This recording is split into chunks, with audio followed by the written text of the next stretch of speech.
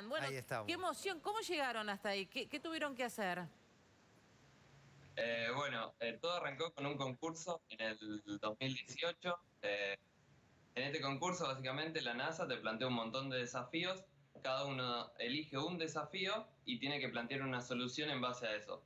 Nosotros desarrollamos un sistema que le brinda apoyo y, con, y monitorea al astronauta en una posible expedición a Marte y además recolecta datos del ambiente que pueden ser us- usados para futuras expediciones, para futuros análisis. O sea que arma. ¿Y de dónde sacaron toda esa información o todo ese Bueno, ingenio, no? Bien, ¿no? Eh, bueno, la NASA plantea los desafíos, te da una serie de, de guías, por así decirlo, para dónde podés llegar a llevar el proyecto, pero eh, los desafíos siguen siendo muy abiertos, entonces cada uno lo encara por el lado que quiere. Nosotros, por nuestro perfil más bien técnico, decidimos hacer algo eh, que esté dentro de nuestro campo de conocimiento y por ahí este proyecto era como que nos encajaba bastante bien. Chicos, ustedes van a presenciar el despegue del Falcon 9 de un cohete, ¿correcto? Sí, sí, vamos a presenciar el lanzamiento con algo de suerte este miércoles porque se pasó, era mañana y se tuvo que pasar hasta el miércoles. Eh, así que esperemos que estén bien las condiciones del clima para que lo podamos ver. ¿Qué es ese cohete?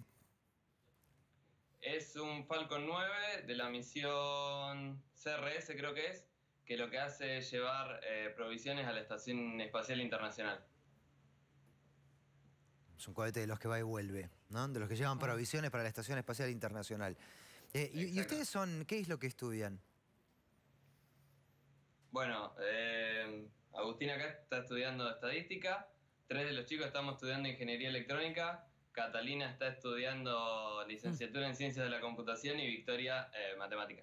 Son todos pequeños genios. sí. Aparte, eh, leía. Qué experiencia, ¿no? ¿Qué le- qué- Qué lindo. Te están escuchando, Pacho, si les querés preguntar algo a los chicos también. No, no, nada, lo felicito. Además me parece que es un, va a ser una estimulación, ¿no es cierto?, para su estudio, para su capacidad impresionante, ¿no?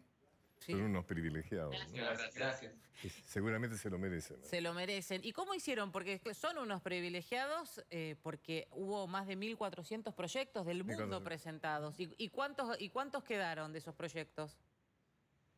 De, ah, digamos, de esos 1400 son los, todos los ganadores de las sedes eh, locales. Nosotros competimos en la sede local de Rosario y de nuestra sede quedan dos ganadores.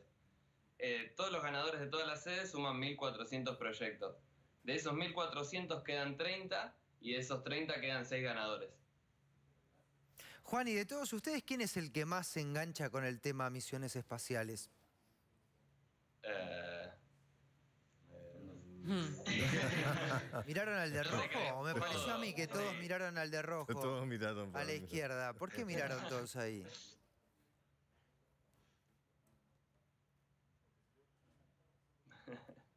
Para mí que por lo menos porque tiene la camiseta puesta. Es el único de los, de los seis que tiene la, la remera de, las de Space Apps. Y me parece que ya se siente él eh, con la camiseta puesta para un futuro. ¿Se ven ahí? ¿Les gustaría? ¿Los entusiasma?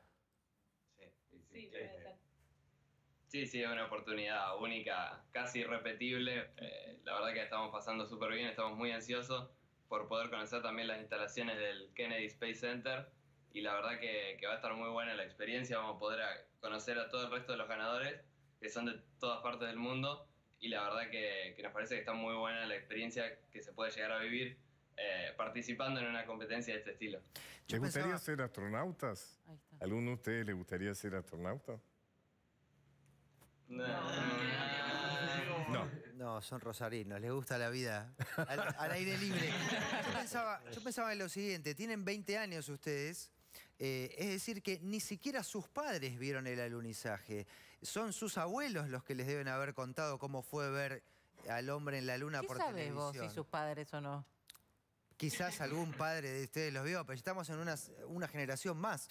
¿Quién les contó cómo fue ver al hombre en la luna? ¿Padres o abuelos? Padre. Sí, en mi casa también, mis, mis padres también. ¿Padres? Bueno, ¿Padres que lo ajá. vieron?